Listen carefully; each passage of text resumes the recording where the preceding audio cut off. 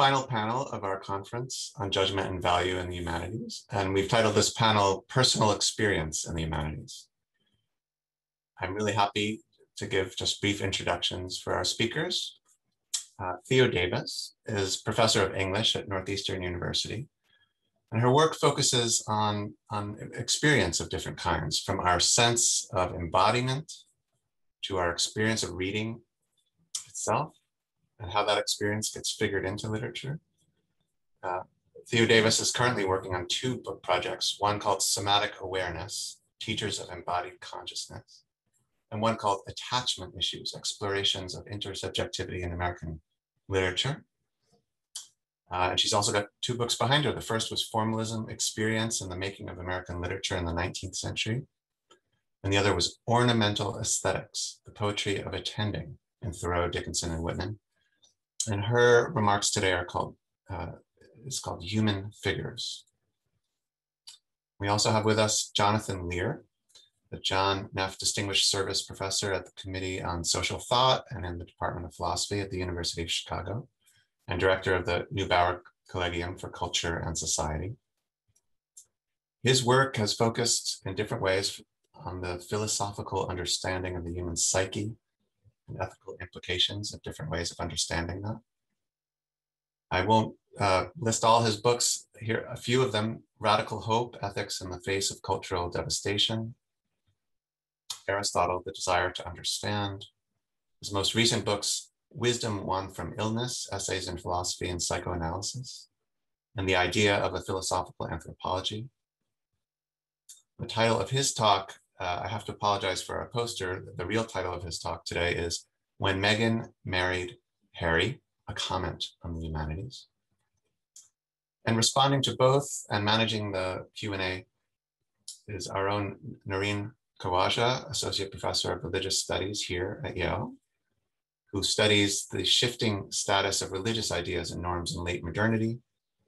Her first book on existentialism is called The Religion of Existence, Asceticism and Philosophy from Kierkegaard to Sartre. And she's now working on two books, a monograph on the relation between theory and philosophy in the humanities, and a longer book on the emergence of authenticity as a cultural ideal. So we'll start now with uh, Professor Theo Davis.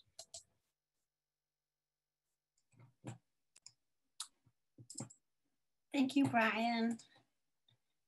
Um, just give me a minute to get my PowerPoint up and running.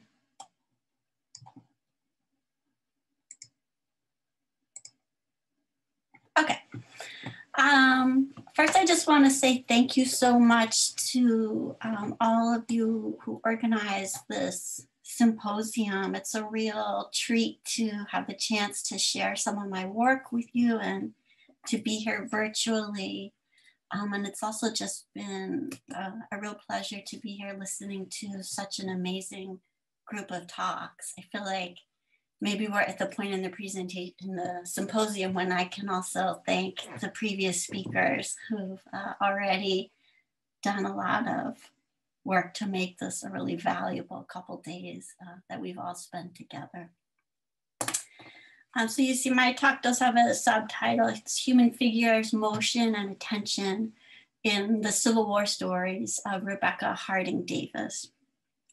My focus today is on the stories of Rebecca Harding Davis, a prolific 19th century American writer whose one well-known piece is Life in the Iron Mills, published in the Atlantic Monthly in 1861 and recovered in 1972 when Tillie Olsen republished it with the Feminist Press. This story appears to center on a sculpture of the human figure made by a West Virginia factory worker Hugh Wolfe. While the story presents a background of wasted human life lacking in feature, individuality, or purpose, the comment that workers have dull, besotted faces bent to the ground is typical. The sculpture, made out of iron waste called korl, gives a human form to subaltern life. And in this regard, the story follows a traditional element of the humanities in that it locates dignity and value in the delineation of the individual human form, which stands in opposition to devalued, formless life. However, I want to suggest that the figure of that sculpture and the logic of the disavowal of other life that it entails is less central to this story than it first appears. It's always struck me as weird when critics refer to Hugh Wolfe as the central character in Life in the Iron Mills because there's a dispersal of focus throughout the story that makes it confusing to say there even is a main character. In fact, one of her other novels has the same issue, and the editor insisted on calling it Margaret Howth, who's really not the main character. So there's this problem of focus in all her work. Life in the Iron Mills is much more interested in forms of interconnected motion and observation among and across characters than it really is in singular figures. A passage in which Wolfe looks out his prison window. At this point, he's been imprisoned for taking stolen money to support his art highlights the difference between his attention to individual form and the moving interest that Davis's narrative eye has. A tall mulatto girl following her mistress, her basket on her head, crossed the street just below and looked up. She was laughing, but when she caught sight of the haggard face peering out through the bars, suddenly grew grave and hurried by. I think at this moment, the passage shifts to Hugh's perspective. A free, firm step, a clear cut olive face with a scarlet turban on one side, dark, shining eyes, and on the head, the basket poised, filled with fruit and flowers, under which the scarlet turban and bright eyes looked out half shadowed. The picture caught his eye. It was good to see a face like that. He would try tomorrow and cut one like it. Davis sees this possibly enslaved woman's motions crossing the street, looking up, she sees her emotions too, from laughter to a seriousness and being taken aback by Hugh's face. Hugh, in contrast, sees a face like that, a picture, as if oblivious to the interaction. In such moments, I see Davis moving towards a clear aesthetic of figural multiplicity and of interacted being with that is opposed not only to a general aesthetic of individual figures, but to the ethos of individualism. And she sharply disagreed with Ralph Waldo Emerson on this point. Thus, while previous critics have focused on the aesthetic interest of the korl woman sculpture, which does have elements of neoclassicism and realism within it, I'm suggesting that for Davis, the real aesthetic interest is not the figure or the sculpture, but the motion between figures and the way that the narrative eye follows and responds to it. In a way, I'm just extending a classic argument about 19th century American women's writing, that it is more interested in forms of social being than in individualism. But I also think Davis pursues a path quite distinct from that of most sentimental and domestic writing by other women at the time. Davis's aesthetic is seen explicitly in Iron Mills's framing by a conversation between the narrator and reader that ends with the narrator having moved to a corner of her library where the sculpture is usually behind a curtain, but tonight is accidentally drawn back. The dynamism of her relation to the sculpture is emphasized when she observes, I see a bare arm stretched out imploringly and remarks, I turn to look at it. In such passages, we see this art of looking and moving in relation that characterizes not only life in the iron mills, but also John Lamar and David Gaunt, which are both published in The Atlantic in 1862. The three pieces pursue a narrative aesthetic focused on the way figures relate, often echoing one another or picking up a gesture and extending it in a different character's body and on forms of interactive watching. At times, the sense is of watching motion, but often motion and watching emerge as kindred forms of being in relation, a conjoined fabric of interaction. In delineating this account, I'm inspired, as I have been in my recent work, by the developmental psychologist Daniel Stern's account of the generation of subjectivity in repeated, relatively small interactive patterns between infants and their mothers, first outlined in his book, the interpersonal world of the infant. In these pre-verbal experiences, often involving interactions of gaze and gesture, a self develops as a set of internally represented generalizations of interactive experiences, which Stern called ways of being with. The sense of the person here is found not in the visage or bodily shape as such, but in an embodied consciousness manifesting on a moment to moment interactive basis. I've been interested in what this general account of intersubjectivity can help us see in literary history. Today, that means Davis's aesthetic of attention to bodily movement and gaze, as well as her understanding of the suffering within such caring gestures. Because Davis's attention often focuses on following along with small gestures of her characters, her work can be very confusing at a narrative level and yet startlingly distinct in its observation. For example, in David Gaunt, once it has been announced to Theodora that her father and lover have been killed in battle, she intuits that her lover is actually not dead and travels to find him. What happened hasn't really happened, and then her finding of him happens in peculiar stages. First, she locates the snow and weeds he fell in when shot. She knelt and found footmarks, one booted and spurred. She knew it. What was there he had touched that she did not know? He was alive. She did not cry out at this or laugh as her soul went up to God, only thrust her hand deep into the snow where his foot had been with a quick, fierce tenderness, blushing as she drew it back. The passage has a pace of kind of stilted, repetitive motion, which yields to this furtive insistence in the way she thrusts her hand in a pocket of snow. Soon she finds him in a shed. Douglas Palmer lay on a heap of blankets on the ground. She could not see his face, for a lank, slothful figure was stooping over him chafing his head. It's not only here that Palmer is on a heap, he seems like a heap, as his face and his body are effaced by the lank, slothful figure of Gaunt, who's actually her other potential lover. The effect of all this is that we don't get a strong figural image of Palmer, but instead these images of touching a snow pocket or laying on a heap while being stooped and chafed over. In a way, Davis's work reminds me of Leo Bersani's reading of Assyrian reliefs in his book, The Freudian Body, where he finds an agitated, erratic vision which substitutes related and continually shifting bits and pieces for the wholeness of being and linear movement of narrative forms. But if Bersani attends to deflection from human form and narrative meaning into formal agitation as such, which he sees as a displacement of violence.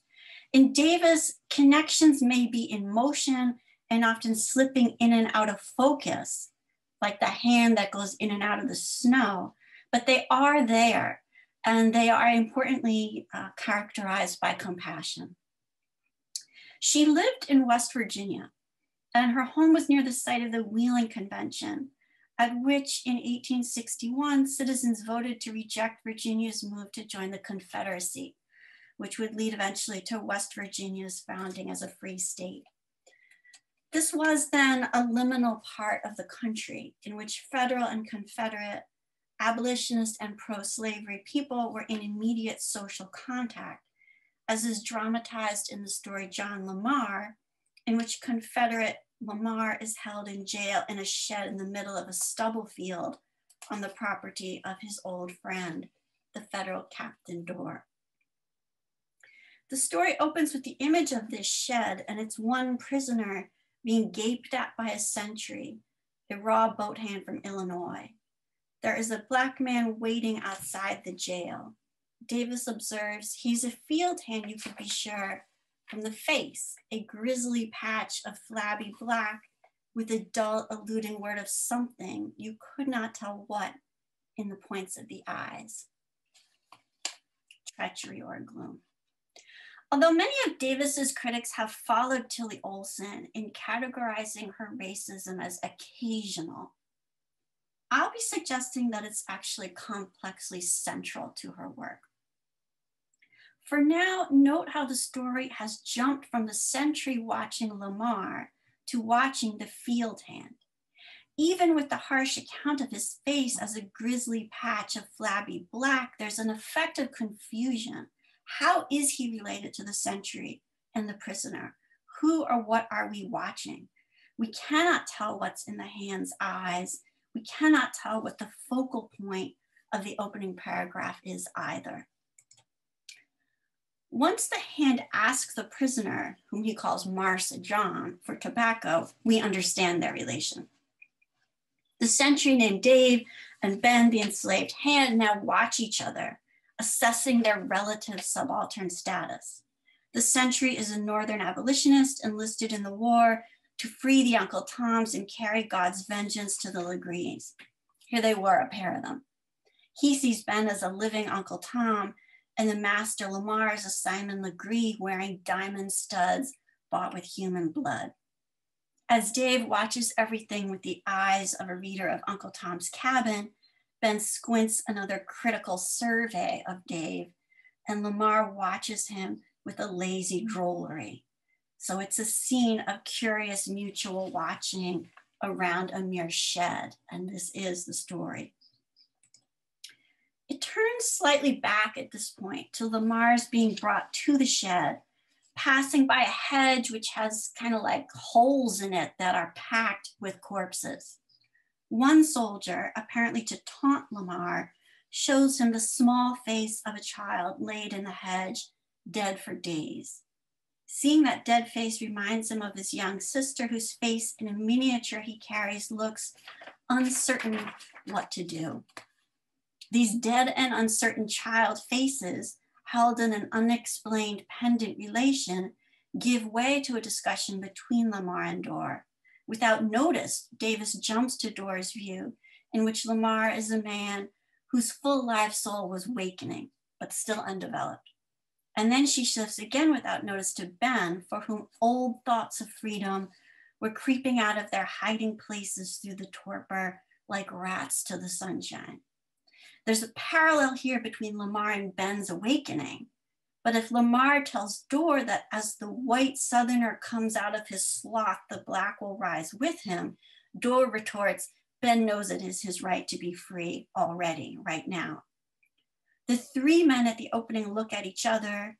The two children's faces that cannot seem to see look parallel out of the story. Now three new men are in view, two of them speaking to one another, the third one watching and listening. Davis's own eye hones in on Ben, who is unseen really by both Dorr and Lamar.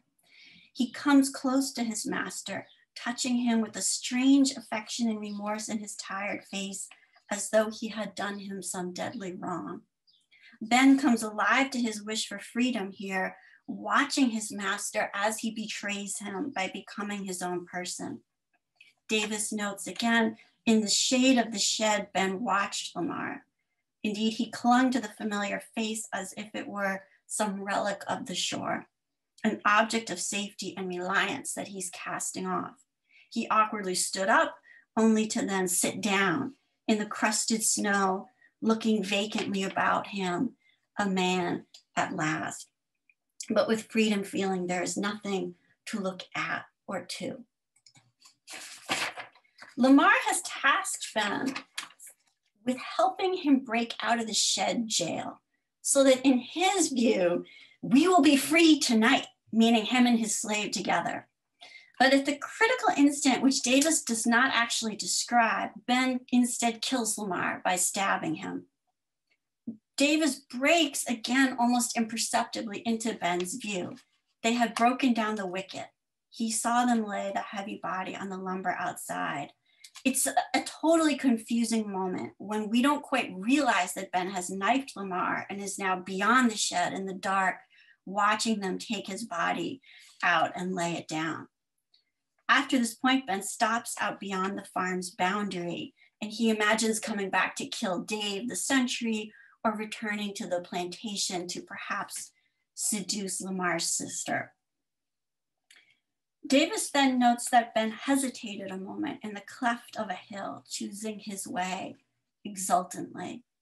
This curious instant shows his freedom in a delighted sense of being able to choose emotion, of having a possibility of orienting himself.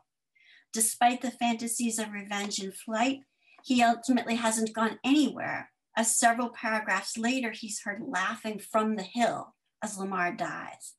Ben stays to be near Lamar without being subjected to him, in effect. Here, the image of the sculpture from life in the iron mills resurfaces. Lamar's face, paling every moment, hardening, looked in the moonlight like some solemn work of an untaught sculptor. This sculptural figure hears Ben's wild, revengeful laugh from the hill. The figure then is still in relation as Lamar realizes that it was Ben who killed him. At this point, the sentry boatman from the story's beginning reappears. He seemed like a nobody for the whole story, but he appears here. He was trying to stanch the flowing blood. Lamar looked at him. Hall saw no bitterness in the look, a quiet, sad question rather before which his soul lay bare. He felt the cold hand touch his shoulder, saw the pale lips move. Was this well done? They asked. The sentry had expected Uncle Tom and Simon Legree and finds instead the angry, sad laughter from the hill and Lamar's stunned sense that perhaps he deserved to be killed. At the story's opening, Dave the Sentry is said to be nursing his musket across his knees, baby fashion. His maternal aspect relates to his reading of Uncle Tom's Cabin, a book in which the maternal reader, of course, is named explicitly. In an iconic passage, Harriet Beecher Stowe, having narrated Eliza's flight from slavery with her son Harry in her arms, turns to the reader and asks, If it were your Harry that were going to be torn from you by a brutal traitor, how fast could you walk? This is a classic example of sentimental literature's form of asking white middle class women readers to watch subaltern figures with an eye that is once objectifying and identificatory. We might look for a parallel in the following sentence about Ben. As for Ben crouching there, they talked of him like a clod heedless that his face deepened in stupor, that his eyes had caught a strange, gloomy treachery. We all do the same, you know. But actually, what we all do the same is not suffer with or like Ben, but fail to see him. The white characters perceive Ben as like a clod and don't see his face undergoing a dulling that becomes a subversive hatred.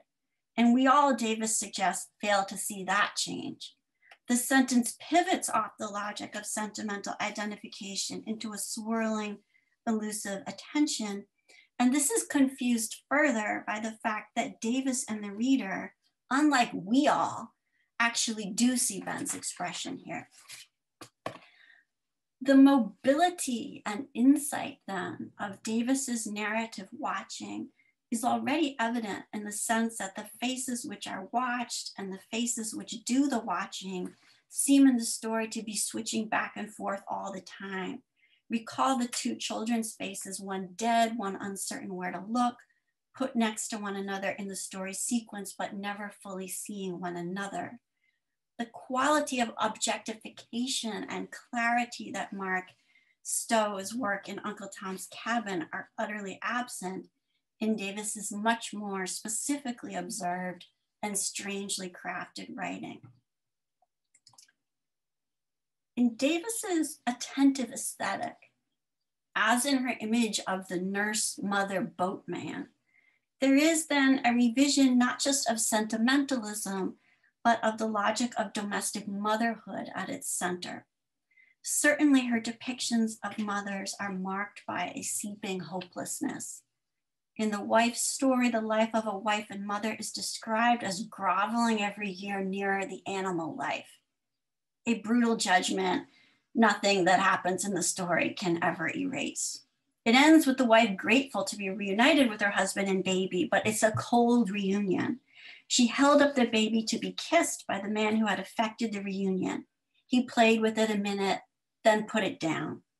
The mother doesn't seem to take the baby back, but to impassively watch it be set down, not unlike Ben watching Lamar's body be set down on the lumber.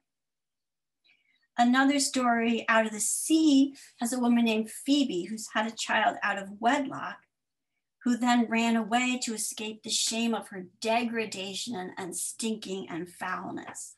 The boy has become a famous doctor who dreams about pictures of the ideal mother and her son, while Phoebe's been waiting 20 years for a letter from him. When he does come home, he barely survives a shipwreck in this weird gender bending scene, Phoebe heroically saves him from drowning. But eerily, as he lay there looking her straight in the eyes, in hers, dull with the love and waiting of a life, there was no instinct of recognition. Her mother love has actually dulled her eyes so much that she can't recognize her own son. In another story, The Harmonists, in preparation for joining a utopian community, Dr. Knowles claims to have set aside love and family affection so that his son Antony comes no closer than any other. Knowles tries to leave Antony with the narrator at one point to break the child of what he calls a foolish habit of sleeping in my arms acquired when he was a baby, only to then spirit him off in the night like a sensitive, nervous woman. Later, the narrator finds Knowles missing, only to discover him one burly arm around his boy. If the story shows the undeniable force of parental love, and I would actually say his love is maternal, as he is another one of these kind of woman man characters that uh, Davis keeps producing. It also shows Knowles's shame and disavowal of that very impulse. This is not sentimental domestic motherhood as we find it in 19th century American women's writing. Jean Pfaelzer notes that in letters to her close friend Annie Fields, Davis's only reference to a pregnancy is the observation, I am doing the kind of knitting I've never done before. I find that really funny. It's like so threatening. Davis suffered a serious episode of postpartum depression after the birth of her first child in 1863, a crisis which entailed elements of religious doubt. At this period, she was deeply averse to Calvinism and evangelism of all sorts and hostile to the hypocrisy she found in most organized religion. She remained a Christian, but there was terror and despair, as Sharon Harris notes, that never fully left her. The despair is not only of Christian redemption and her role as a mother, but of human progress as such. In 1859, three years before Life in the Iron Mills, John Stuart Mill articulated in On Liberty a liberal vision of man as a progressive being, in which the ability to grow and develop was the central value of a human life. In her fiction, however, Davis expresses an existential despair at the impossibility of such progress for the majority of human beings, including the working class, African Americans, disabled persons, and white women. The wife and narrator of the wife story, for instance, wants to leave her marriage to fulfill her dream of being a singer. She aspires to transcendentalist self development, noting that the quotation the only object in life is to grow was my father's, Margaret Fuller's motto. She opposes self development and being free to being animal life and woman's flesh. But again, the story is about the mistake of her entire understanding of self and world. The end insists on the importance of her life as a mother and wife, even though, as we've already seen, it does so in a very crushing vein. Davis repeatedly describes the impossibility of progressive individual achievement and is, in a sense, committed to experiences of degradation and dependency. This is where her racism and even her anti feminism, in a strange way, matter because her interest is in experiences of limitation, which she refuses to see as adequately addressed by the aspiration to a fully developed life. Now, in sentimentalism, degradation in this world is affirmed as a sign of transcendent value, to be rewarded by the reader's sympathy and redemption in the afterlife. But Davis's work, as so many critics have observed, is not really sentimental. her interest in observing non-transcendent experiences of interaction and in emphasizing the value within experiences that, from the perspective of progressive humanism, would be characterized as degraded, moves in a direction that is in some ways resonant with work in Black studies by scholars including Achille Mbembe and Alison Kersine, who both in different ways look at aspects of motion, including crawling, that emerge from within subaltern experience and are seen as a source of value. Certainly an interlacing of blackness and whiteness runs throughout Davis's work, often with the kind of skipping from figure to figure um, we've seen in passages already discussed. Against the grain of 19th century American literature, for Davis, the sense of being korl, flesh, or somehow disgusting and confused is never clarified into a matter of facile, objectifying sentimentality.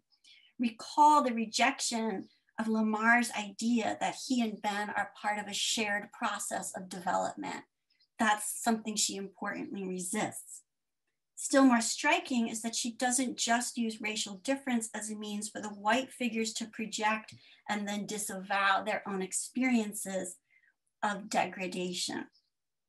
When the turbaned Black woman sees Wolfe's face staring out from prison, she turns away in distress as if the sense of her own oppression is projected and possibly made vivid in his haggard face, taking away from her own free step. Davis has, I want to say, a sense of degradation that is neither the universal human condition nor a sign of transcendent value. It is experienced specifically by different persons in different conditions. There is even an important quality of degradation, the human interest, the compassionate looking and being with, that is her aesthetic practice, focused so often on specific, sensitively noted moments that feel rich with interest and yet incidental to narrative progress. I'm thinking here of Pfaelzer's point that for women writers of this time, claiming an identity as creators was extremely rare.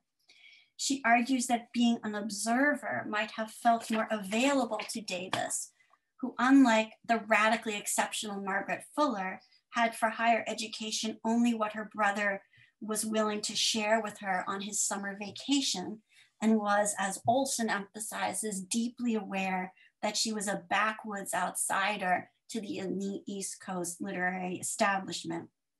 We so often think of the gaze as a form of objectification and power, but in Davis, it has a humility to it, even a sense of limit, of their not being able to push further. Indeed, I think of her watchful narration as something like the eye of the mother, for whom watching and careful attention can be exhausting and entail a sacrifice or dispersal of focus. Certainly, Dr. Knowles fights against his desire to curl an arm around his son because it cuts against his sense of self direction. Davis knows not only the sorrow of parental watching, but the sorrow of the child's dependent watching and waiting for the gaze of the parent to bring them to life. I think it worth emphasizing how prevalent it is in this time for both women and Black people to be seen as children, as dependents who had to look to others for their existence. She is fascinated by the ambivalence of Ben's watching of his master, first with affection for one on whom his life relies, then with rising hatred. After staring at nothing in the snow, he watches Lamar die from the hills with the shocked discovery of what it means to kill the one you have looked to for existence. In our many critiques of the category of individualism and the human subject, we find opportunities to explore elements of humanity grounded in interaction and intersubjectivity. Davis offers much in this direction, but I want to emphasize that her work also offers a sense of the suffering and degradation of our need to look to others manifested in her narratorial eyes looking, even though that looking is a matter of care. Despite the tremendous critical energy that has gone into decentering the human subject from our understanding of the humanities, Davis's work does indicate to me an unfamiliar and shocking rendering of human experience. Finally, there is a recurring thread of criticism suggesting that her value is in her movement forward from sentimentalism toward realism, um, out of the limits of 19th century aesthetics towards something more radical. All of these approaches value writing that moves forward, that heads towards a better future in some way. And I think this cuts against her fundamental interest in the lack of hope around human life.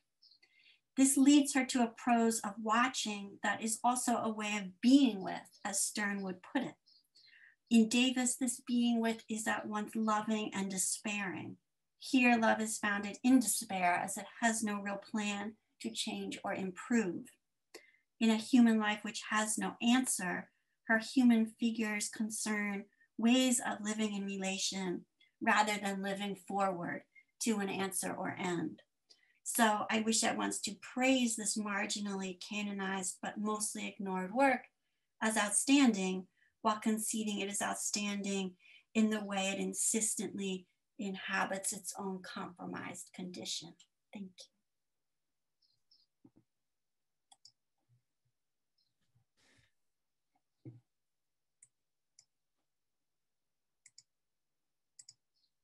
Well, I think I go next. um, thank you so much. Um, and uh, this may seem a bit like shifting gears, but uh, I actually think there's there's some commonality here in the themes. So this is called "When Meghan Married Harry," a comment on the humanities. Uh, I wrote it for this occasion. I would like to take a look at a particular call of conscience that marks us as human the example may at first look trivial, but the fact that a call can arise even here shows us something important about being human. Now, in her famous interview, Oprah Winfrey, Oprah Winfrey asked Meghan, the Duchess of Sussex, What are you most excited about in your new life?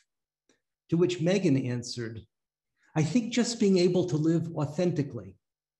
And she gave as her prime example her wedding. Quote, I was thinking about it. Even at our wedding, you know, three days before our wedding, we got married. Here I've got some quotes. Good. So Oprah says, you know, uh, she said three days before we got our wedding, we got married. Oprah says, ah, Meghan, no one knows that, but we got, we called the Archbishop and we just said, look, this thing, this spectacle is for the world, but we want our union between us. So, like the vows that we have framed in our room are, are just the two of us in our backyard with the Archbishop of Canterbury. And that was the piece that, and Harry says, just the three of us. And Oprah says, really? And Harry says, just the three of us. And Meghan joins in, um, just the three of us. Now, though Oprah is a legendary interviewer, she does not pick up on what she has just been told. She says, the wedding was the most perfect picture, you know, anybody's ever seen. But that was precisely what Meghan was calling into question whether that most perfect picture was a wedding. Let us try to make Meghan's point of view more explicit. As a social category, the type of event that the social sciences study, it seemed obvious that a wedding was about to take place. But something troubled Meghan about that wedding being her wedding. As she told the Archbishop of Canterbury, that event was a spectacle for the world. And she added a crucial but we want our union between us. That is, the planned spectacle was not going to be the occasion in which their union took place. What we see here is a protest against the idea that the planned event, the wedding, was adequate to the seriousness of getting married, that is, wedding. Now, where does that niggle come from?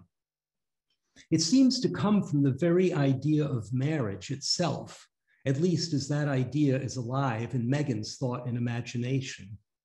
And let me say at the beginning, I have no interest uh, here in probing Meghan's individual psychology, her inner world, or her deeper motivations. And nor will I discuss issues related to her character or the criticisms made of her in the media. I am here only trying to elaborate her self conscious point of view. Meghan wants to have a real wedding, not a sham. Her sense of her life as having meaning nudges her, this is the call of conscience, in the, dire- in the direction of doing something different than the planned public event. And she takes her doings to have been efficacious. She brought about a scene in the garden with Harry and the Archbishop of Canterbury, in which both she and Harry thought was adequate to their conception of marriage. And she takes pleasure in her success. She called it living authentically, and she said that was what she was most excited about in her new life. The official event on its own does not fit well into Meghan's conception of meaningful life. And note, this is important, the special sense of meaningful here as living up to Meghan's own aspirations of significance. If Meghan had simply resigned herself to the demands of social custom, went through the rituals with her heart in despairing fury, that would have been meaningful in some sense of meaningful, but not the sense that Meghan sought and that we are tracking. Interactions, she expressed her conception of what it is to lead a meaningful life. And here is the point we have a conception of the human by which Meghan manifests her humanity precisely in striving to achieve her conception about what matters in living a human life. Now, this is a conception of the human that does not coincide with the biological conception of the human as a species, though, of course, the mode of our embodiment does matter to us tremendously. And it also eludes the human as an easily available subject of social science research, those beings who can be evaluated by categories reliably measured by the methods of social sciences.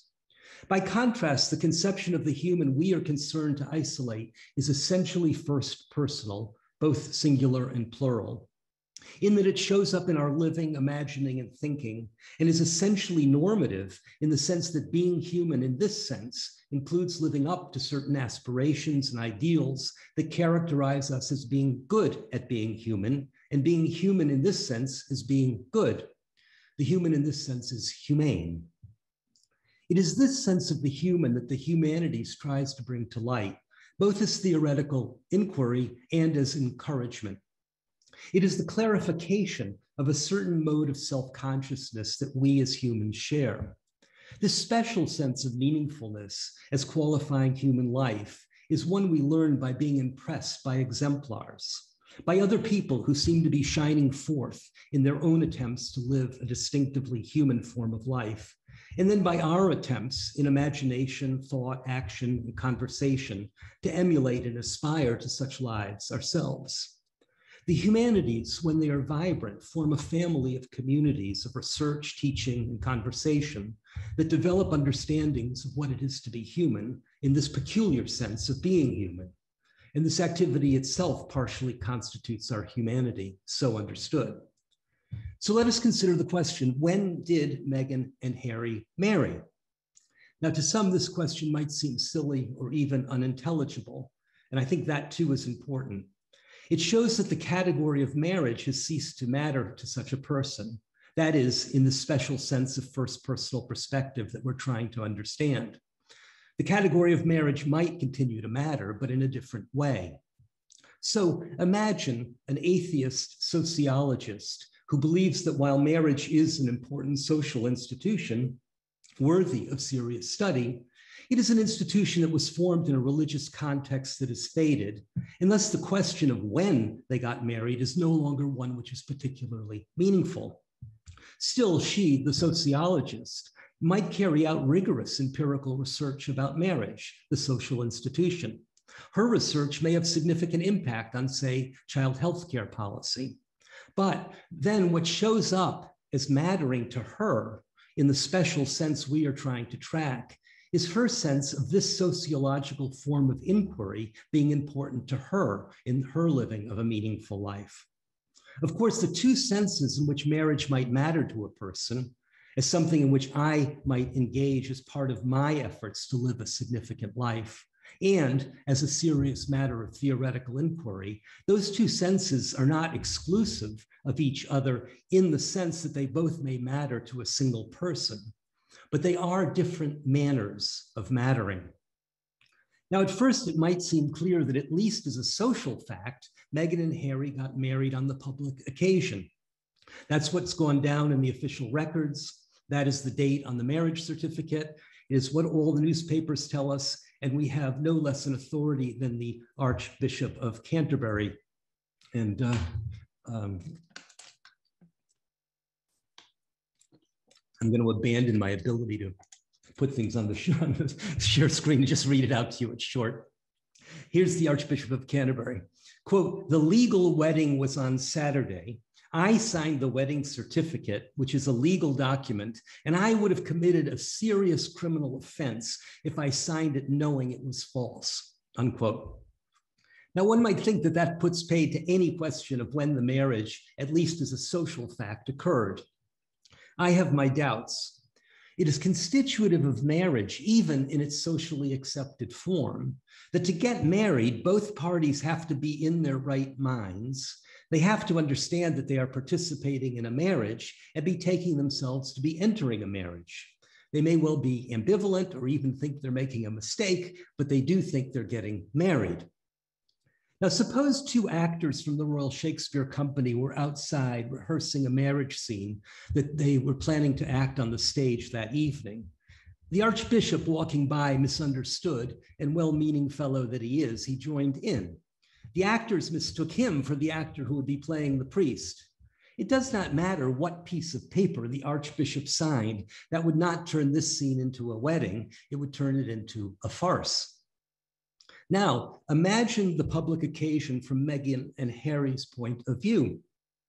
From their point of view, they could not possibly get married on the public occasion because they already were married. They married three days previously, facilitated by the Archbishop.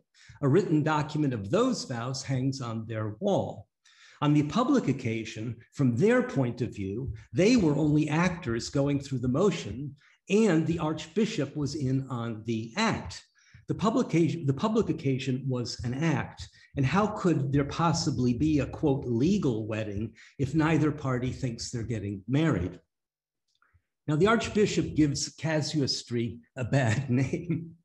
Uh, he says that he uh, cannot discuss confidential conversations he had with the couple fine. But the question is not about their private chatter. It's about whether he, three days before the public event, married them or not. He then goes on to talk about the legal wedding, as, as I quoted him. It does sound a bit weaselly to me. And I want to just say, Archbishop, in the eyes of God, as best you understand it, was the legal wedding a wedding? Or did it, the wedding, occur three days before? He then follows with a, what seems to me a complete non sequitur. He says, quote, I, uh, I would have committed a serious criminal offense if I signed it, namely the wedding certificate, knowing it was false, unquote. Okay, but how about some intermediate cases like signing it without thinking much about what you're doing, signing, signing it thinking it was sort of true? In his statement, he puts himself on high moral ground, but evades the simple question when were they married?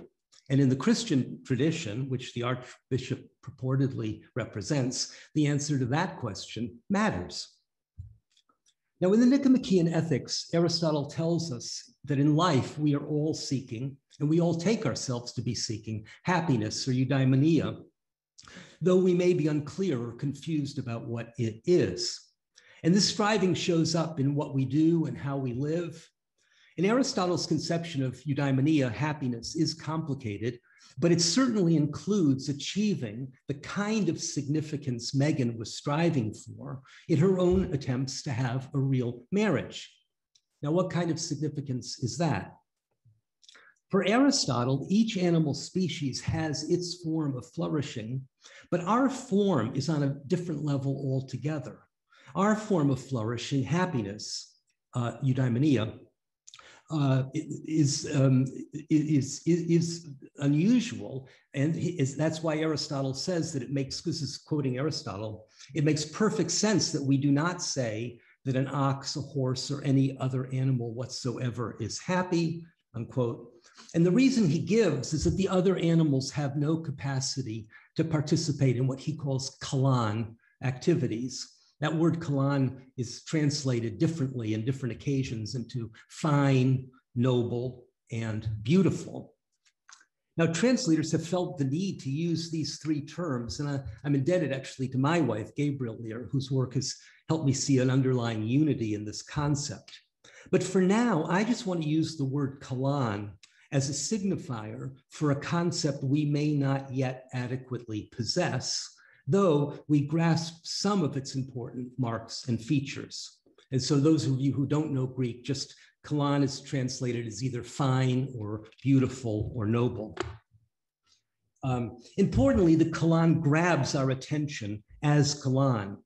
And the key to our happiness, according to Aristotle, lies in this the active exercise of our ability to recognize and delight in, be amazed by, and motivated to emulate and imitate those exemplars of the Kalon that we experience in life, as well as our success through practice in internalizing and identifying with the Kalon, so that having acquired human virtue or excellence, we in our life activities shine forth with the Kalon ourselves.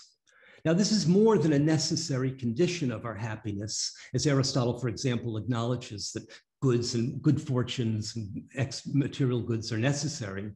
By contrast, appropriate responsiveness to internalization of and active participation in the kalon is what our flourishing or happiness consists in. So, our flourishing unlike the flourishing of other animals, consists in a special form of self conscious understanding of our flourishing. The understanding is motivated and practical and thus essentially first personal. And that is why Aristotle teaches the conditions of human flourishing, not in his zoological works, coming to the human, but in his ethics. Knowing what it is to be human in the special sense of knowing is a condition of our being human in the special sense of our flourishing. Now, we can see Meghan striving for this something special in her efforts to have a real marriage. The reality of the marriage, in her opinion, depends on it conforming to her idea of what makes marriage meaningful in this peculiar sense of meaningful. In this context, I think we should consider the interview with Oprah not so much as a retrospective report of an earlier event, but as a self conscious elaboration of the event itself. Part of what it is to be Kalon is to shine forth as such. Now, of course, Aristotle thought that only a restricted elite would be able to appreciate the Kalon as such. And I applaud Meghan's outlook, which is much more egalitarian. In the very act of having this interview, she manifests her belief that the whole world is capable of appreciating the specialness, the rightness of her marrying as she chose to do. It is important to completing a Kalon act to have it recognized as such. It's a way of building community. Her act that is the private ceremony plus the public declaration on Oprah, was intended as critique. For thousands of years, a certain social sect in Europe has insisted that their conception of nobility, which non accidentally concluded themselves, was the truth about what nobility is. The planned marriage was meant to show forth how this form of nobility can adapt to the exigencies of modernity, the marriage of a royal to a non royal. In effect, Meghan insisted there was something ignoble about this attempt at nobility. It had degenerated into mere spectacle. The real marriage, from her point of view, the true nobility, was the private event and its showing forth on Oprah. There now arises a question about the availability of conceptual resources in our culture. On the one hand, Meghan clearly had the concepts of marriage and authenticity with which she wants to understand herself and to have others understand her. It is with these concepts in mind that she sought to break free of an oppressive uh, cultural outlook and oppressive cultural cliches. But now we get to a question that affects not just her, but all of us. Should we ever be so fortunate as to achieve material and social circumstances that enable us to break out of some confining social norm, are we then trapped one level up with confined and distorted concepts with which to make our purported escape. In her essay, um, the philosopher Cora Diamond uh, wrote an essay called Loss of Concepts. Uh, she argued that one aspect of growing up in unjust circumstances is that people regularly lack the concepts with which to understand their situations and themselves. On the one hand, Meghan earned celebrity, wealth, and personal prestige on her own. She was then able, along with her husband, to structure a marriage as she saw fit. But what resources did she have to question what marriage and authenticity should mean for her? What freedom did she have with the concepts themselves? And I ask this not just about her, but because it is a problem that pervades our culture. And more generally, I think it's a problem that haunts human social being as such. And I think this brings us to the topic of this conference, which is the importance and value of the humanities. I think it helps to distinguish three levels of the Kalon.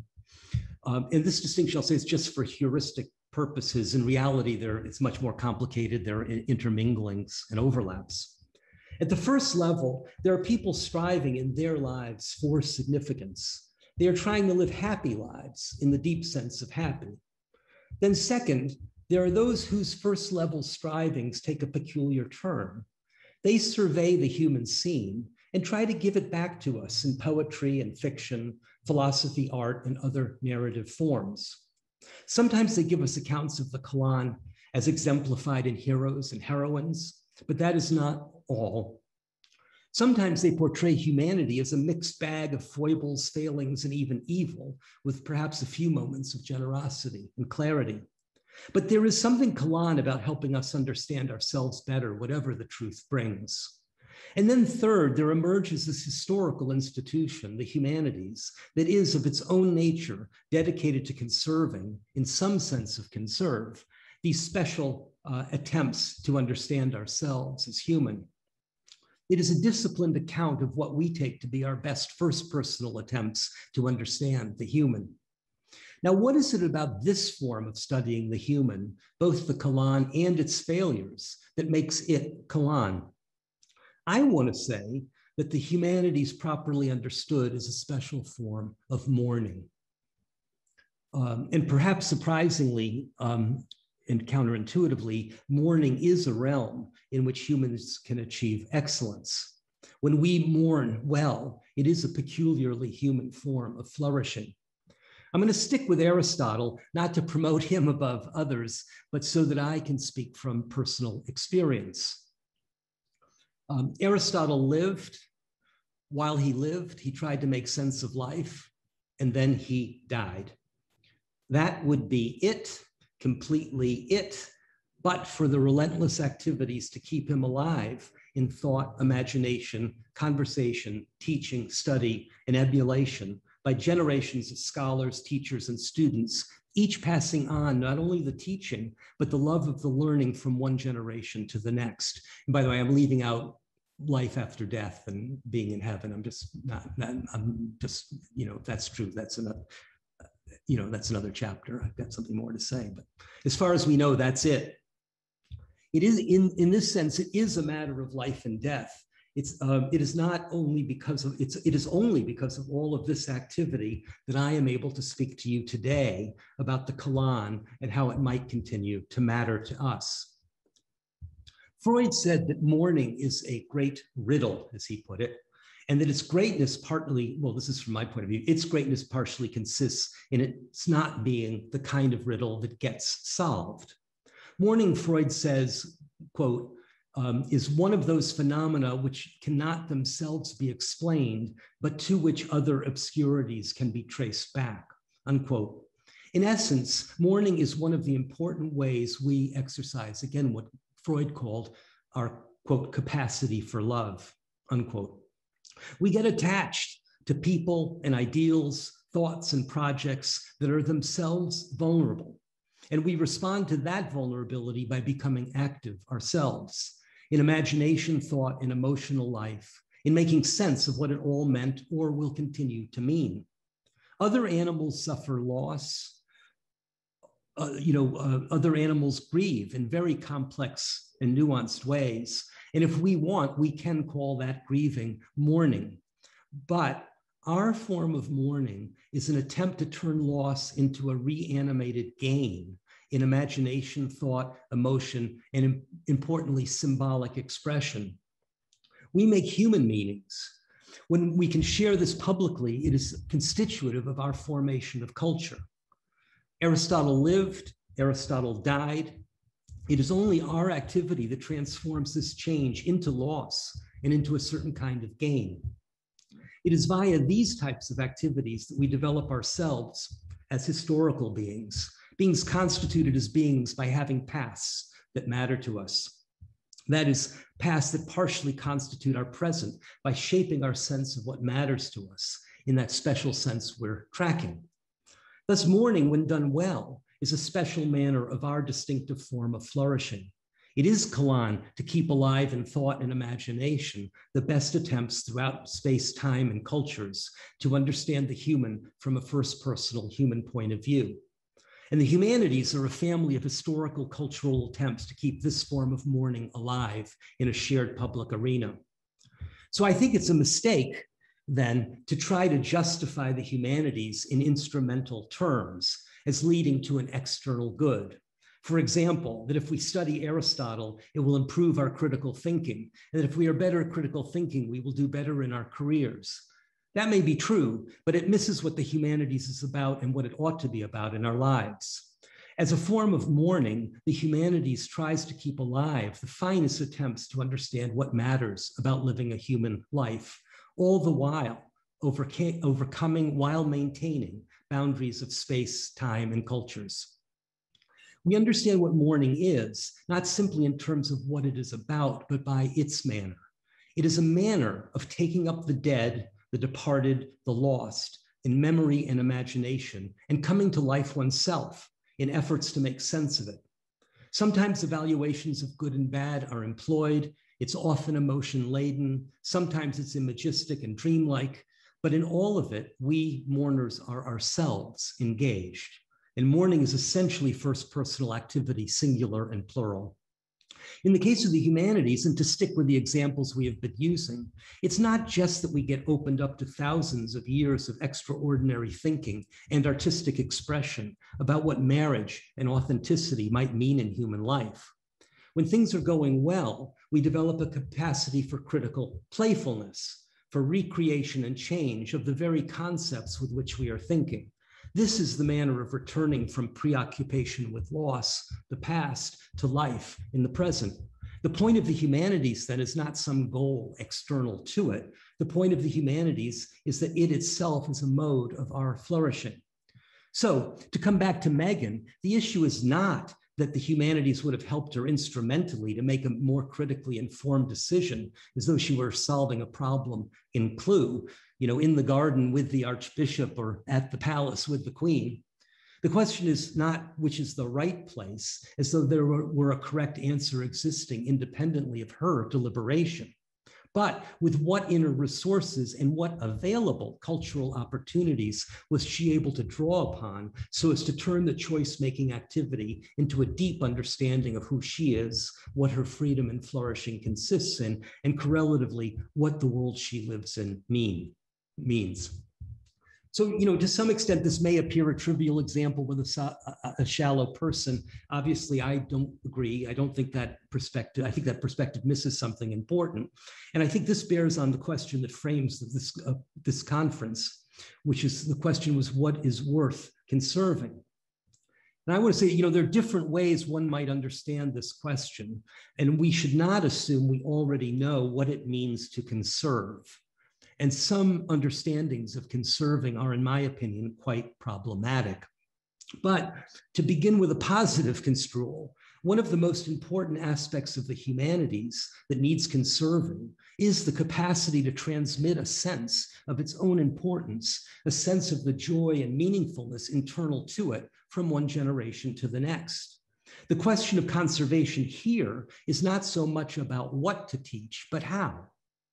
And I think Meghan is not unlike an entering student into the humanities. She is already struggling with issues of what would make her life meaningful. And of course, she's not yet internalized all the riches of the humanities.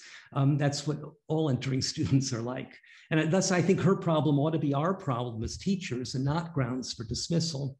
We ought to be able to address those stir stir stirrings for significance, no matter what a student's background.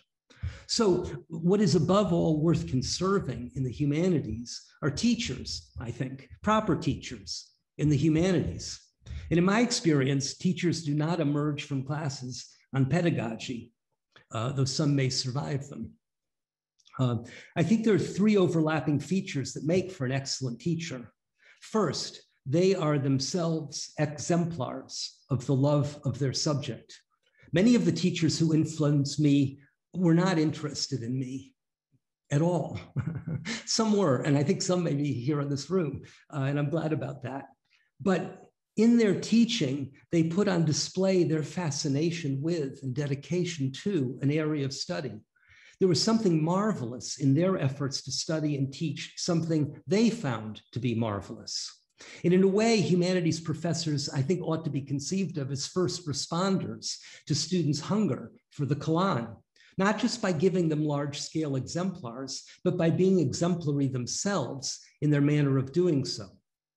Linda Zagzebski has pointed out that with large scale cultural exemplars, we can be struck by their beauty or nobility or specialness before we understand what it is that's grabbing us.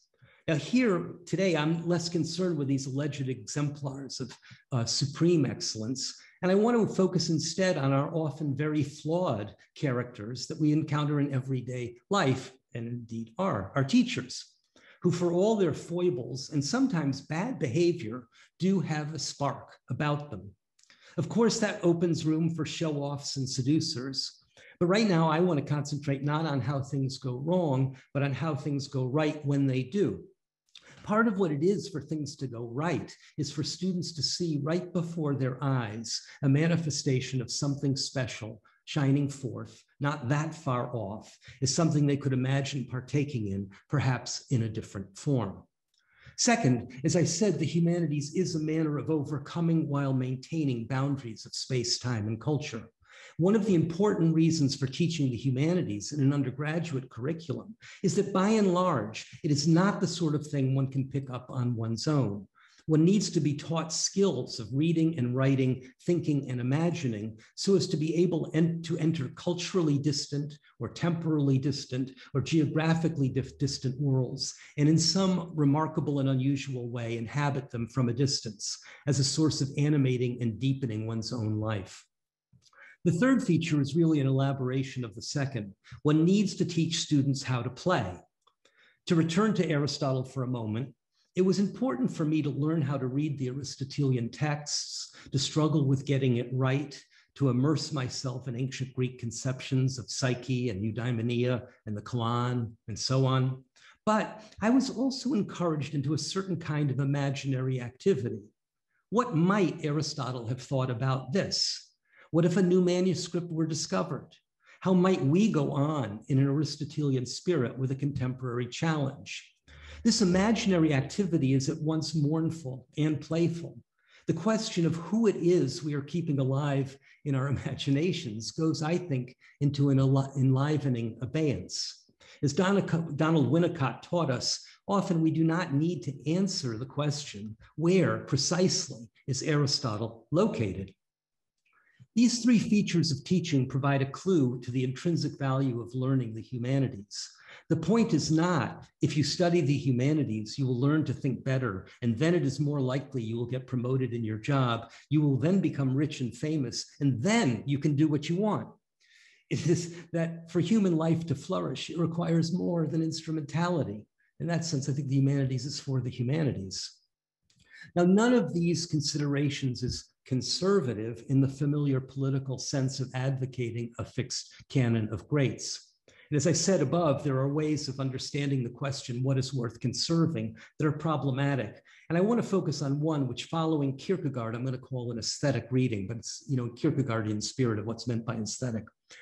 In this version, we conceive of ourselves along the line of curators, and here with a capital C, at a great museum, or librarians with a capital L at a great library, or professors a, with a capital P at a great university. There are so many works already in our basement, but there's not enough wall space in the exhibition. There are too many books for our shelves, or there's too much learning to fit into a curriculum, and we must make choices. But on the aesthetic reading, there are two unquestioned assumptions.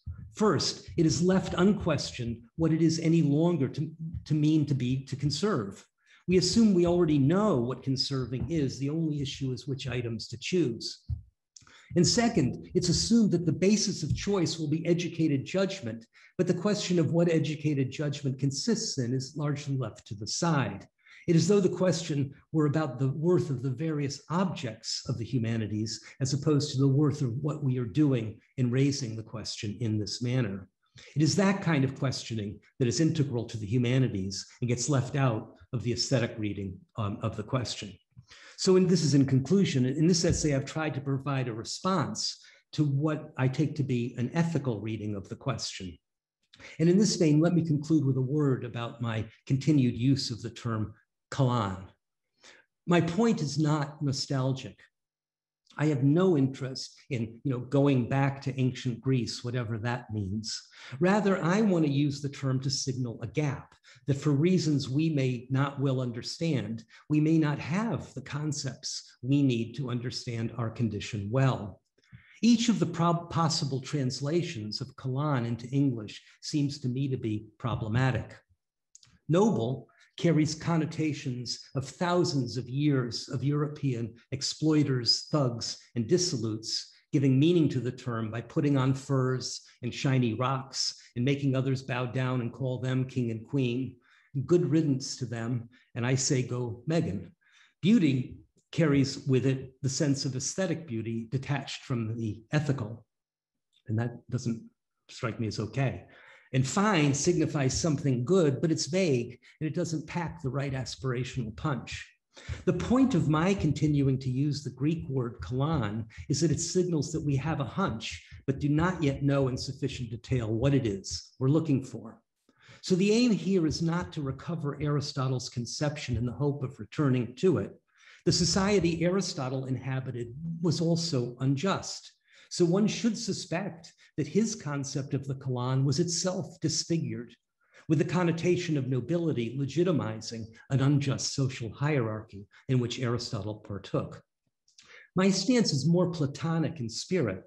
We assume that both we and those from whom we might learn have been living in conditions of injustice, which disfigure our attempts to understand what is good. I mean, in effect, uh, Plato's image of the cave is applicable. Still, we can get glimpses of a good direction to follow. Using the Kalon self consciously as a signifier, not a fully developed concept, is, I think, a use, useful direction in which to proceed. We thereby signal to ourselves that we have a hunch that both they and we are onto something important about being human, but we are also in the midst of life and thus in the midst of confusions, contradictions, and unclarities.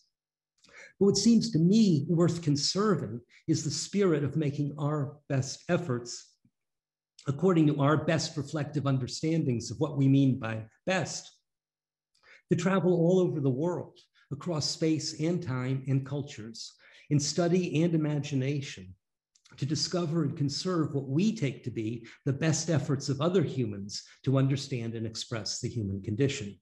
It is in this spirit of rigorous hope um, that spirit of rigorous hope is, I believe, a manifestation of our flourishing.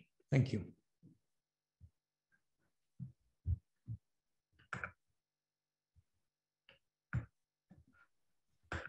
Thank you uh, very much, uh, Jonathan and Theo, for such rich papers, which I have had an extremely fun time reading and thinking about over the last uh, days. I will try to keep my remarks relatively brief and interrogative to set us up for some discussion. Uh, I think there is quite a lot of intertext possible between these talks and, and certainly very fruitful ways of closing out um, this conference in and touching back on the main overarching themes. So I'll just get going. I um, starting with um, Theo Davis's paper um, on Rebecca Harding Davis's writing, looking at, I, I was really um, uh, surprised and moved by the way um, you were describing the uh, what might be called like a kind of diffractive ontology of character, looking at the motion, the interconnection, the kind of move, the movement of figures across and between figures, forming maybe a different kind of figuralism in the stories um, from what we might normally expect. And um, you know, thinking about this as a diffractive reading, I was also sort of spinning in my thoughts, thinking of Davis reading Davis, writing about David, also about Dave. There were a lot of Davings going on here, but Davis one shows how Davis two, in in sort of exploring this diffractive character ontology, can get us at um, a sense of the existential despair in your phrase or the experience of degradation that is a reality for a majority of human beings. And that kind of lens, I think, set us up, set me up at least to think about um, a tension, an interesting tension between the figuralism or the figuration that you're tracing in Davis's work and something that at times you sort of describe as a humanism and perhaps a sentimentalism in the writing or tendencies to read them in that way. 19th century humanism, especially in its progressivist narratives, um, and its most individualizing narratives. And so some, some sort of tension there between the diffractive figural reading and perhaps a kind of uh, humanist framing for relationality. Um, and I thought there were some like beautifully suggestive and illuminating reevaluations um, in the course of that reading of the gaze as a kind of humil a form of humility as opposed to objectification and thinking about the ruptured perspective or ruptured form that emerges across those characters as something compassionate rather than violent and sort of setting up to ask some questions about the relationships between these two papers, thinking about sort of a couple of passages that that um, that stood out in that respect. I'm quoting from uh, early on in Davis's talk. I'm suggesting that for Davis as a writer, the aesthetic object is not the figural sculpture, but the motion between figures, the way the, and the way the narrative eyes follows and responds to it and you know i sort of i dwelled on that phrase the word aesthetic object there that davis's um, aesthetic object is this motion between figures. And i was thinking is this an aesthetic object? In what sense of aesthetic? Is it a moral object? And then this sort of drew, drew some potential connections with what we were hearing at the end of uh, jonathan's talk about the kalon um, but also, I, I'm, I was aware of a phrase you came to toward the end of your paper about an aesthetic practice. So at one, at one point you called it an aesthetic object and later on you called it an aesthetic practice. And I think that ambiguity also, or that doubling sets up some interesting vectors that we might revisit uh, in thinking about them together. And I, I noted also in that, in that, um, in that same introductory section that the person slides into your reading in a place perhaps where in Lear's reading we hear the word human more centrally framing this discussion that the, the phrase the person sort of sets in there so that um, Davis's sense of the person is found not in the visage or bodily shape as such, but in an embodied consciousness manifesting on a moment to moment basis. And so, um, you know, I had a lot of really uh, sort of broad questions about uh, some of the ways you're putting that, like thinking about um, what Davis's work, who I was discovering through this paper, um, might where that might sit, sit sit in a kind of broader history of literary perspective. Do you see her as a precursor to some of the modernist moves in thinking about perspective and ruptured uh, sort of voice? Um, but those are maybe not the most interesting questions for this particular context one uh, one one sort of way of teasing it out perhaps um, is uh, what I'm trying to get at here is to say that sort of I was noticing um, a kind of complex overlapping between terms of the figural, the human or the humanist, perhaps the personal in there, and then a counterpoint between those and the sentimental and I wondered, this is a word you didn't use, but because I'm hearing some art historical kind of echoes in the back of my mind as I'm reading this, that you know another kind of antipode perhaps to the figural to be to be put in here is the abstract. That is to say, would you would you read the kind of figuralism that you're tracing in Davis's work as abstract um, or as a kind of abstraction? Is it, is it akin to abstraction in some way? And so I think thinking about the kind of tectonic overlaps or shifts between the figural, the sentimental, the humanist, the personal, and the abstract may set us up to think a little bit about some of the methodological moves as well that, that Jonathan was kind of um, teasing out in the latter part of, of his essay. Um, I wanted to say uh, sort of also that I noticed, and this is this is a, this is a this is a this is a thesis, and everyone feel free to refute it or contest it. So perhaps one way of describing one layer of a kind of connection between the two papers that I was really fascinated by is to see a kind of maybe ex, a, loosely existential body of figures operating in the background of each of your writings and to see each of your writings teasing out um, two kind of countervailing tendencies within that body of writing. One is thinking about the existential tradition as focusing on a kind of decentered or eccentric subjectivity about the relations between things. So thinking about, you know, Heidegger's philosophy, for example, as so prepositional. It's about the in and the with and the being between, all of which are, you know, maybe his attempts to build concepts out of translation of Aristotle's prepositions or something like that.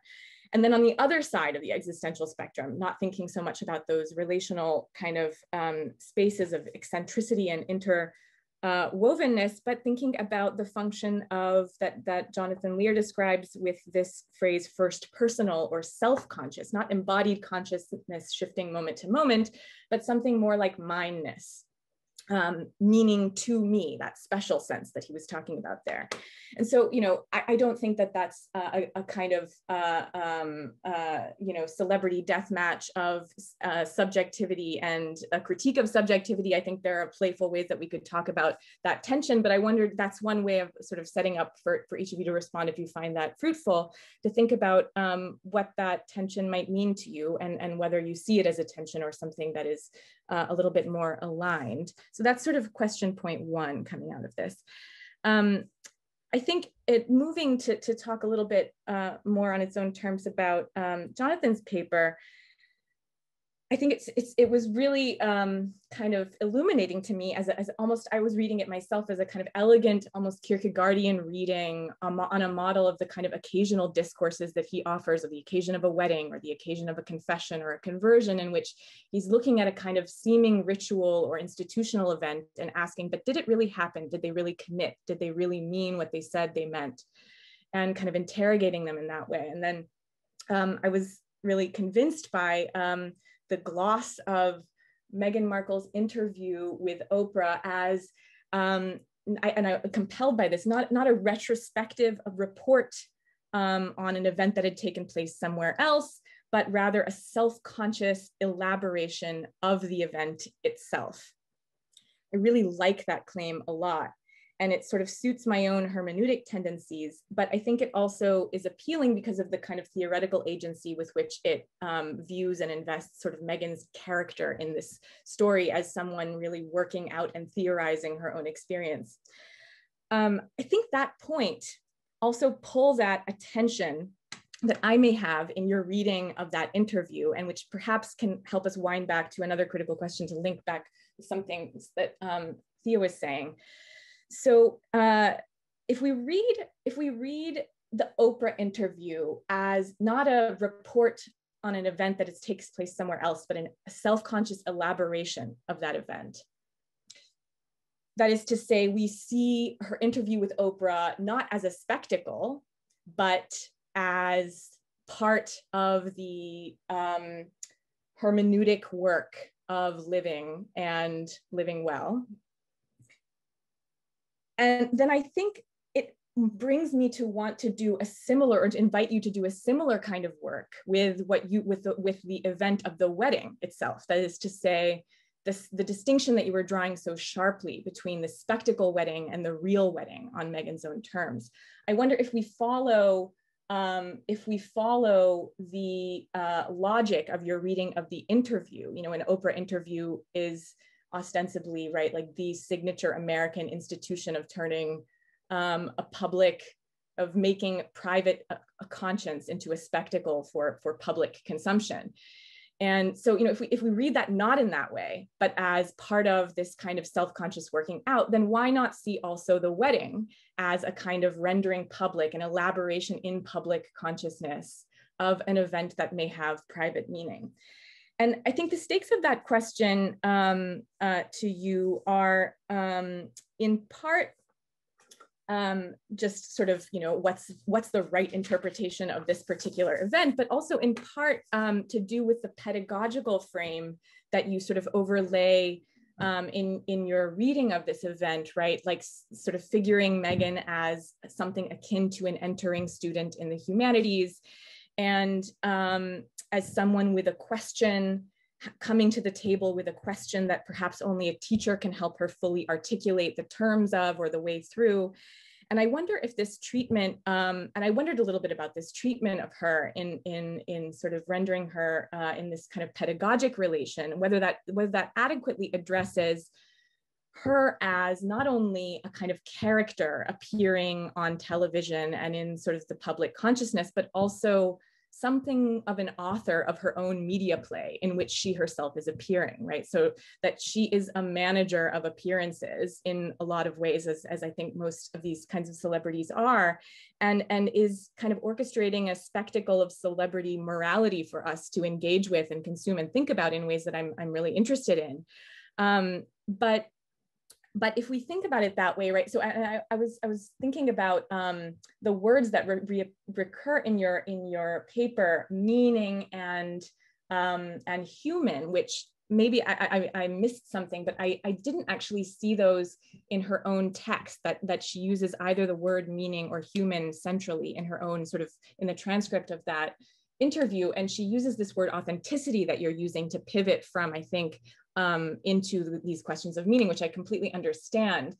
But I think there's another way of thinking about authenticity in the sort of media context that she is operating in, which is, you know, not just a search for the kalon, but also a kind of defense of the singular individual against some kind of elaborate depersonalized PR machine that is the royal family, that is the media itself, and I'm hearing in the background here, perhaps re repeating some of the, the kind of counterpoint that Theo is setting up between Davis's approach to the figural as kind of um, at odds with or a counterpoint with Emersonian traditions of self-reliance and self-elaboration in something like a more individualist vein. So if we see Meghan in, in appealing to authenticity, not just as a sort of genuine search for the Kalon, but, but articulating what is perhaps America's version of the noble cultural ideology that is everyone ought to be and make themselves up on their own terms.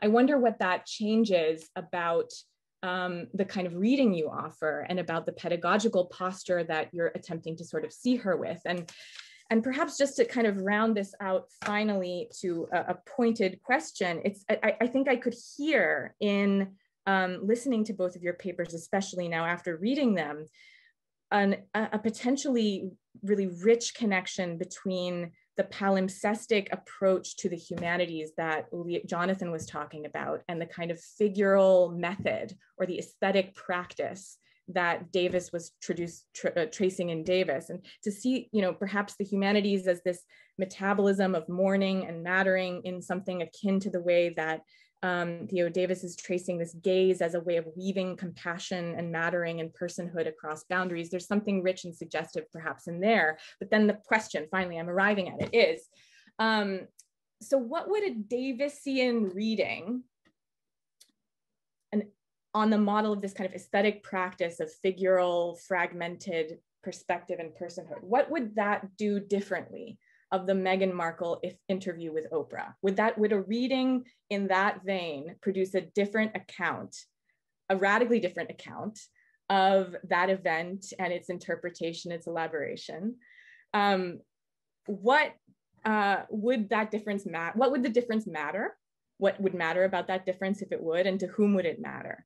Um, and uh, you know, I, I, could I could say more things about that, but uh, I'll I'll leave it there. Perhaps like the the little pin is just um, to say that you know one hook one might find into that is to say is um, the sense of the human that Jonathan was tracing in, in reading Meghan Markle's interview, something akin to the sentimental in Davis or not? That's like one other version of that same question. Take it up, please. I would love to hear everyone's thoughts or ask your own questions.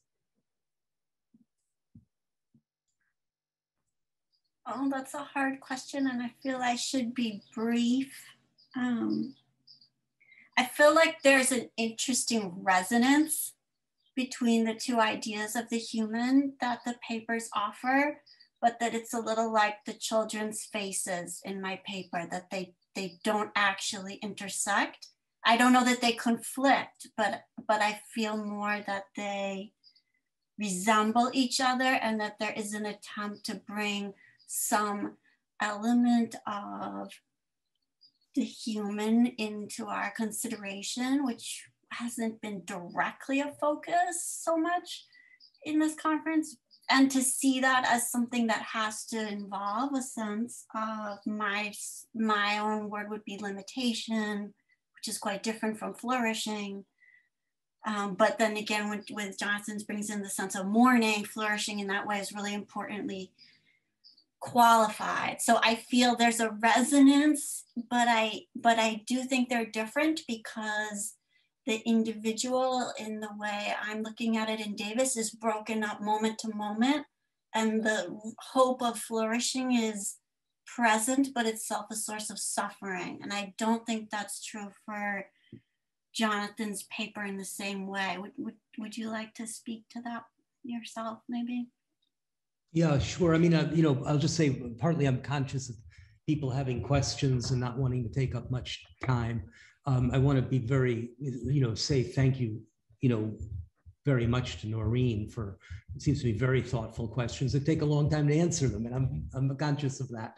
Um, but let me just say, I'll just say very briefly that um, uh, um, you know, there, there's one there's one place I really picked up, and I didn't, you know, uh, there's a phrase you use about theorizing her own experience. And I, that makes me uncomfortable. It feels like uh, too much of a, a, theoretical, you know, a picture of reflection um, that isn't really accurate to what I'm trying to capture or what I think she does. I don't think it, I mean, it, it's, it is a manifestation of an important form of self-consciousness, but I worry about um, theorizing. I think she's, you know, she is trying to live a human life.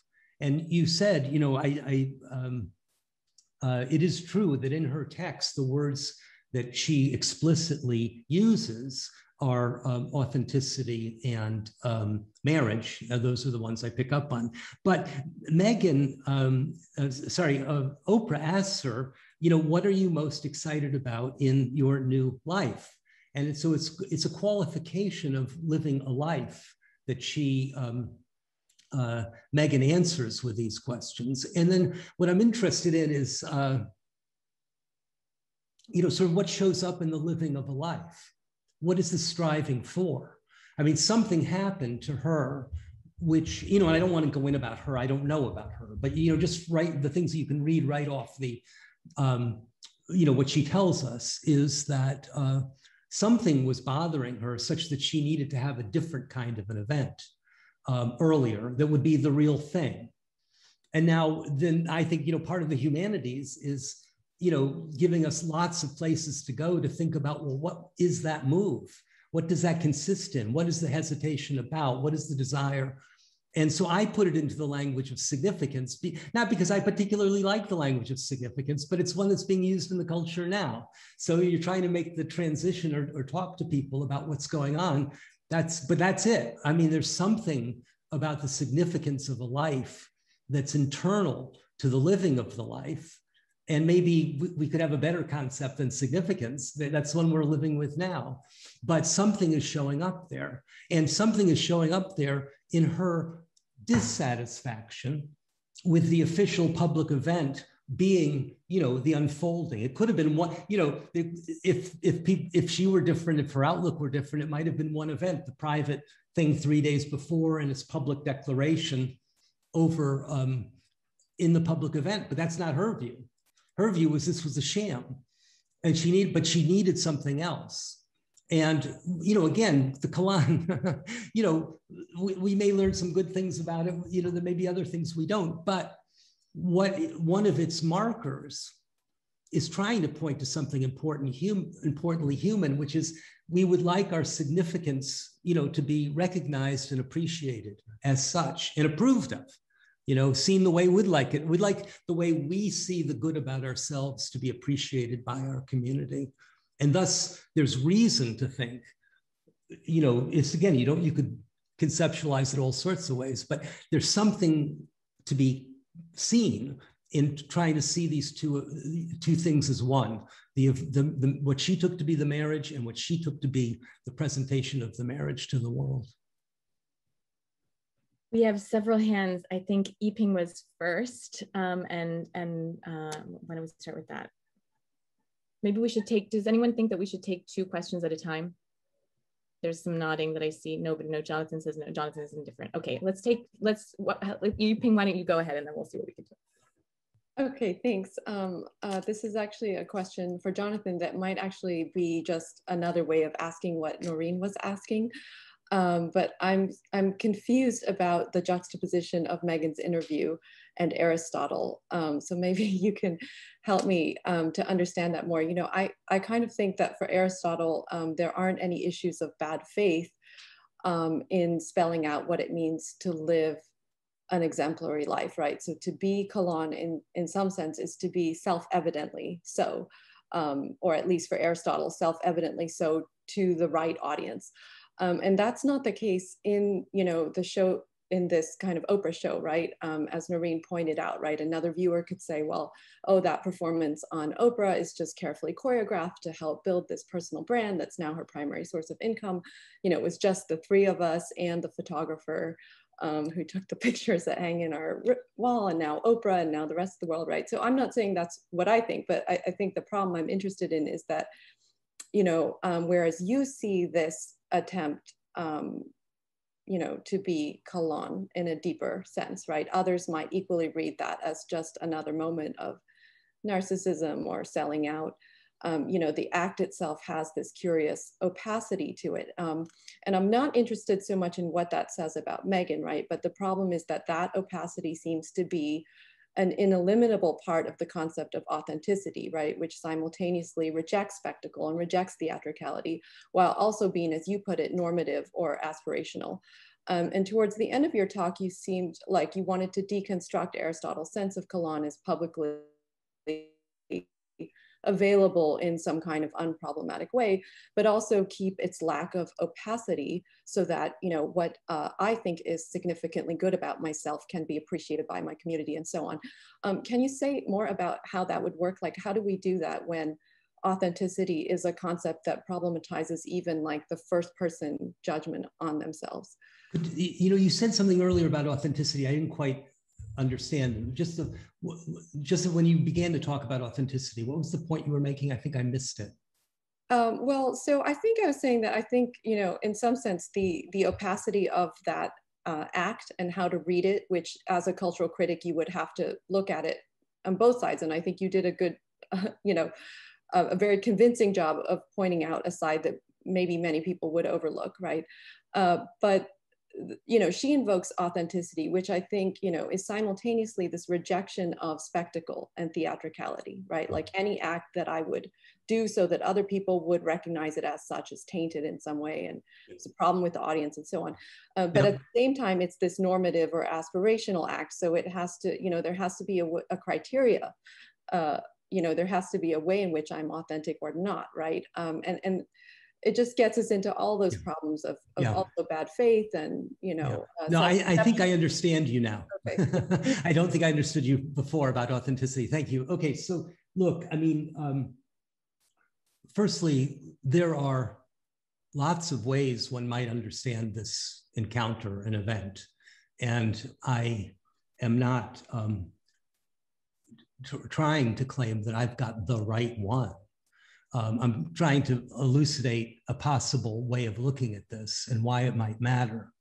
Now, authenticity, I just want to say is, you know, that's, you know, one of the great things about doing the humanities is you can see, you can see over time in cultures, there have been many, um, you know, disparate versions of authenticity.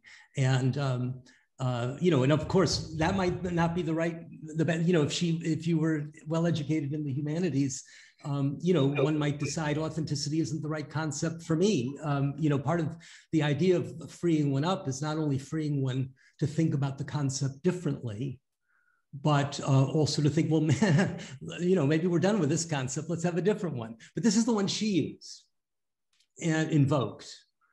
And um, you know, the as far as I can, I mean, as far as I know, I'm not an expert on the concept, but I mean, the original meaning of the authenticos was the murderer. Um, you know, that's how it begins in the Greek. The you know, he did it with his own hands. it's the one who, you know, the one who really did the strangling is the authentic um, person um, because it's he took it into his own hands, uh, the neck of the person he killed. And, um, you know, it came to mean genuine, the authentic, you know, you know um, the authentic item.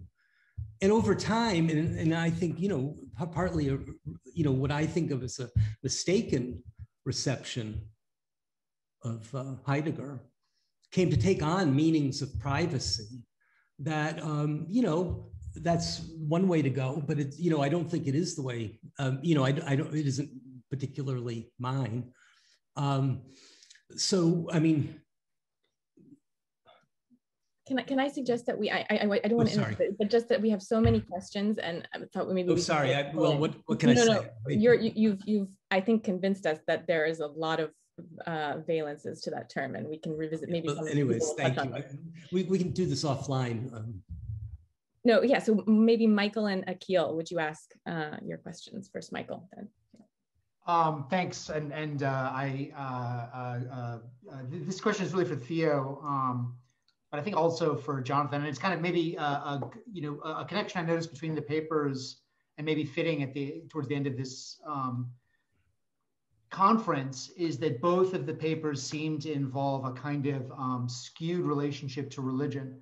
Um, or, or, or, to certain kinds of religious traditions. Theo, I was really interested in your account, uh, a very persuasive and, and elegant account of, um, of Davis as a kind of um, refusal of, of, of the kind of Christian redemption of suffering, right? Um, uh, that that animates uh, uh, some versions uh, of this sentimental and, and and Jonathan the the um, it's kind of interesting the way that the religious you sort of sort of invoke it marriage as you know archbishop of canterbury is there right but it but it, it, it gets displaced um, by these questions of of authenticity and and and so forth. And so i just wanted to invite you know thinking you know thinking back uh, uh, people like matthew arnold you know the way these questions had, had been had been raised uh, uh, uh would have been thought of uh, a century a century and a half ago just to speculate or, or talk a little bit about what was underlying if it was in fact underlying your papers, um, references to the humanities as that which comes at an angle, fills in a space left vacant by, um, uh, uh, uh creates figures that are, um, you know, not available in uh, religion.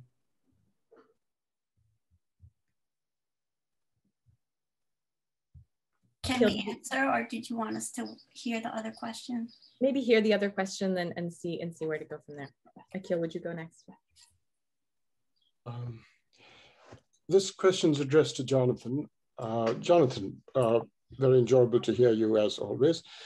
Uh, I was extremely interested in your uh, bringing on to center stage uh, notions like mourning and keeping alive and, and conserving, um, it, it, does seem to me insightful to, to focus on them, uh, but of course they'd have to have a very uh, general scope. I mean, they wouldn't be mourning in, in the narrow, narrow sense. So, so, so just take, for example, you know, uh, over the uh, previous semester, uh, a, a, semester or two ago, I was teaching and and I noticed that when I mentioned the date 1789, uh, uh, the event seemed to be alive. But I, I then went on to talk about 1848 and 1871. There's just no uptake on the part of students. I mean, the event was just you know, I don't know about dead, but it was lifeless or it was moribund. Mm-hmm. And this has not got to do with generational illiteracy or anything. I'm not trying to be, you know, uh, be superior in that way. I'm just saying that, as you rightly point out, things, things just uh, uh, uh, pass away and you might want to keep them alive. And so the idea of keeping alive is, is important and, and conserving is important and, and so on. If I, if I think the Paris Commune is more important than, than uh, uh, the French Revolution, I'd want to keep things alive, 1871 uh, back onto. Uh, okay, so, so, so having said all that, it does seem nevertheless that there are certain kinds of things that by their very nature we do not mourn. Mm-hmm. And the question is how we don't want to usher them out of the humanities. So for, so for instance, when we seek truth in the standard sense, right, in the uh, uh, in inquiry, if something that we believe uh, turns out to be false, right, there isn't, there's a, there's one sense in which we can't possibly mourn it if truth is our goal, or, or is the goal of inquiry, right? I mean, you can mourn it in the sense, in a completely different sense. You can mourn it in the sense that you say, the world was a better place to live in. I myself was a happier person when uh, uh, the zeitgeist had it that the earth uh, is flat. But just from the point of view of truth and cognition, you can't possibly mourn if truth is a goal of inquiry, you can't possibly mourn that you've found something false and gone on to see that something else is true, you know, that the earth is not flat. So, so I would think that there's a danger that the humanities would have to usher out a notion of truth of that kind, the unmournable by its very nature if if you make uh, mourning and regret and things like that, you know, which which make us special, which we do in a different way from uh, uh, non-human creatures and so on. It's just a question yeah. about we don't want to usher out certain things, and and so the the scope of mourning and so on is is relatively limited. Therefore, may I answer back, Noreen? Is that? Or, yeah, I, I wanted uh, Theo to go first and, and address Michael's question. I made a bad call in lumping these two together, but we all have to pay for it now. Sorry. I think that can be um, sort of quick. You're right, there's a skewed relation to religion in the paper. I feel in a simple way, I'm positioning her between a progressive humanism that sees our development in this world as what gives life value and a Christian idea that sees our development towards heavenly hopefully judgment is what gives our life value. And she doesn't really fit either of those. And instead, there is a kind of care that is focused on a sort of despair of value coming and where we go next. I think that has an aesthetic quality to, in her work.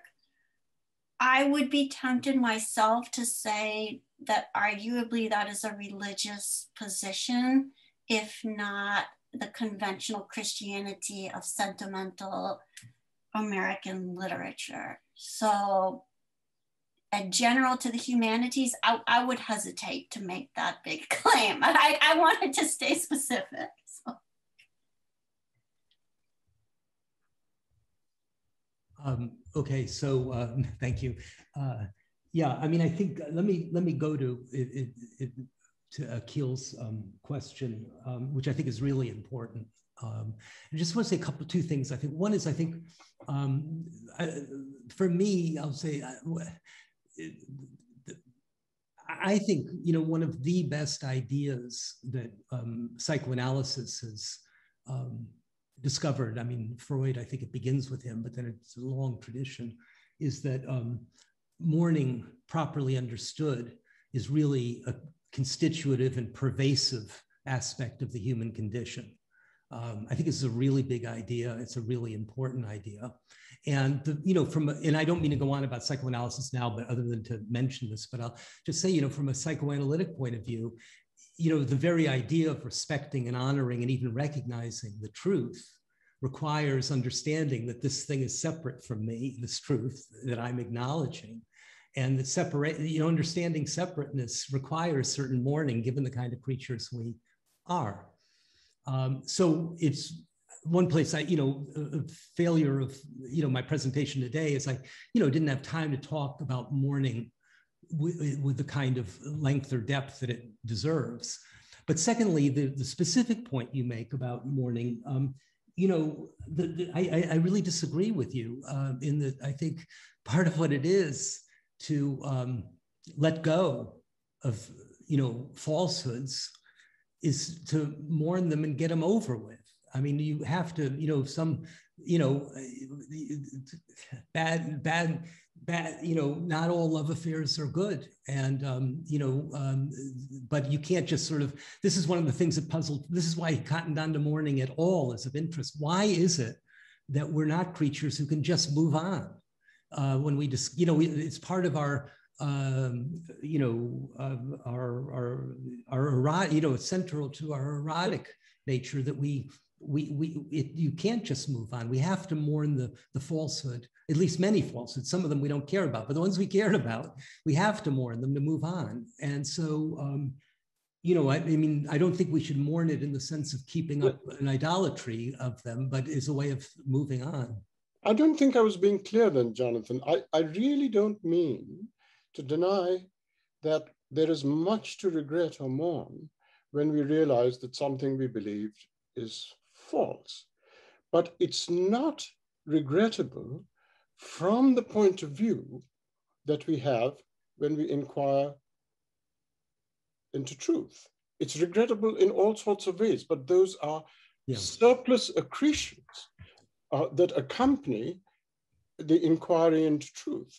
I'm saying just from the point of view of that goal, it can't be that one uh, doesn't want it. And I'm saying that goal, with that narrow conception of it, maybe we want to usher it out of the humanities, say it is only for the natural sciences, and uh, you know, and I, I just, I, I just wanted to to alert you that that you might have to go in that direction. But I really had in mind that narrowness. I wanted to be a necessary truth that you can't mourn it when you narrow it down in that sense, it's not a controversial point. Uh, well, I'm not sure we agree about the controversy, but I just want to say I don't think mourning essentially involves regret. It might. It, it's not an essential property of you know that it need that need be. It doesn't matter. Mourning and anyway, I, I think uh, I think we have to we disagreed here, but perhaps on very fundamental things. um, disagreeing on the terms of the disagreement is another definition of the humanities, perhaps. um, so uh, there were hands, they disappeared. We are at our edge of allotted meeting time, but I want to uh, thank uh, the speakers of this panel and previously, and I want to hand the reins over to David Bromwich, who I think is going to say a few final words and signing us off.